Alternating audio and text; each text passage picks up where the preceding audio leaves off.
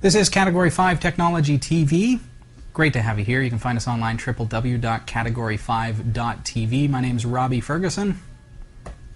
She's Christy Burton. I'm Christy Burton, huh? And she's in the chat room. And I'm just buzzing in the chat room.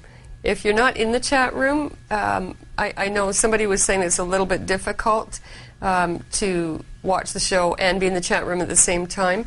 And someone else commented that uh, you do get used to it after a while, mm. and uh, and it's a gas.